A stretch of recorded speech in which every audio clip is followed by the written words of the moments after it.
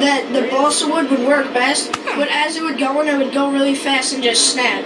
So we used the aluminum and it worked better.